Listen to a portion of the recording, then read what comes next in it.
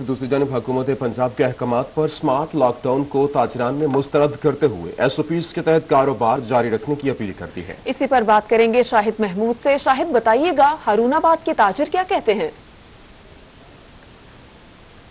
गालिबन रबता मुनकदा हो गया। शाहिद महमूद से आपको बता रहे हैं, हुकूमत पंजाब के अहकाम पर स्मार्ट लॉकडाउन को ताजरों ने मुस्तरद कर दिया। एसओपीज के तहत कारोबार जारी रखने की अपील कर दी है। आपको बता रहे हैं, हुकूमत पंजाब ने दो हफ्तों के लिए लॉकडाउन का ऐलान कर दिया, जिस पर ताजर बरादरी खासी परेशान है।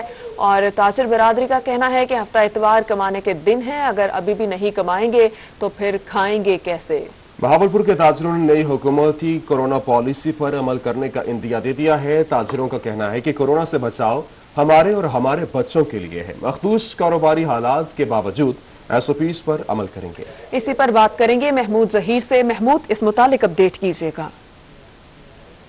नई एसओपीज के हवाले से ताजरों का क्या ख्याल है? क्या नई एसओपीज पे अमल दरामद हो सकेगा? हफ़्ता इतवार को एक बार फिर से मार्केटें बंद हो सकेंगी।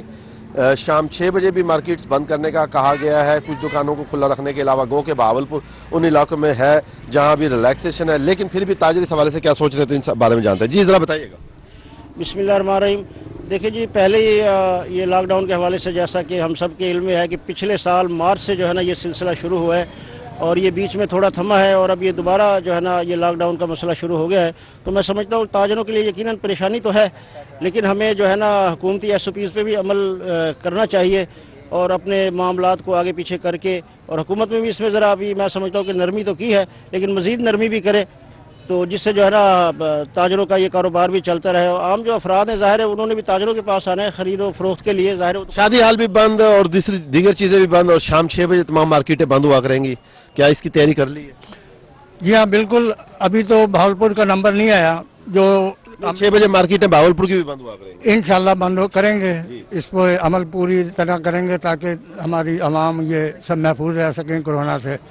दुआ अल्लाह पाक इसको पाकिस्तान से खत्म करे। अल्लाह ताला इस इसको खत्म करे कोरोना को। आप समझते हैं पाकिस्तान में इतना या भावलपुर में इतना ज़्यादा कोरोना है कि हमें एहतियाती तदाबीर करनी चाहिए? नहीं बिल्कुल जनाब एस ओ पीज पर अमल करना चाहिए ठीक है इसी में ही फ़ायदा है हमारा। तो आप अभी लोगों से मिल रहे हैं दुकान पर बैठे हुए हैं मास्क नहीं लगाया हुआ है आपने क्यों नहीं किया हुआ? जी मैं अभी आया हूँ मास्क मेरी जेब में अभी मास्क लगा के ही बैठी ये होना भी यही चाहिए। हमारा पूछने का मकसद आप पे एतराज़ नहीं था मैसेज देना था कि तमाम लोग जब इंटरेक्शन करें तो किसी से वो मास्क लगाएँ। मुझे भी इस हवाले से मास्क लगाना चाहिए तो मुझे अपना मास्क लगाते हुए आपको मैं बताना चाहूँगा कि मुझे भी इस तरीके से। एक्चुअली मकसद ये है कि आप लोगों तक वो मैसेज पहुँचाए जो लोगों को मिलना चाहिए। करना चाहिए। महमूद जहीर आपका बहुत शुक्रिया।